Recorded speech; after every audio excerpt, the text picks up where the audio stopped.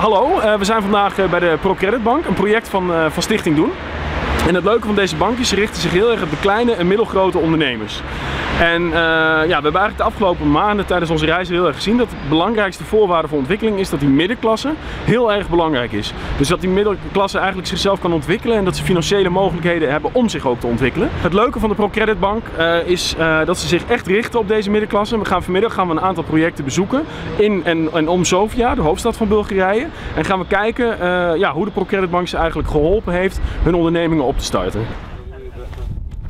Nou, we zijn inmiddels uh, op pad met ProCredit. We zijn in de buitenstad van Sofia. En uh, hier wonen uh, twee mensen die met inmiddels al wel een lening of 15 van de ProCredit Bank dit bedrijf hebben opgezet. De onderste verdieping is een bakkerij. Verkopen ze de banitsa, de lokale snacks. En boven hebben ze een, een schooltje opgezet waar ze bijles geven in Engels.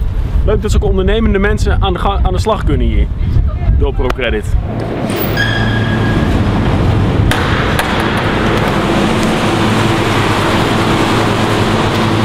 Hé hey, Rikkes, wat doe jij nou hier joh? Zo? Het is heel koud. Koud? Ik sta hier al lang. Ja? Koud of zo? Hier, uh, kijk, er liggen hier um, abrikozen. We zijn hier uh, Frambozen. Oh ja, frambozen. Ja, ik ben niet echt specialist.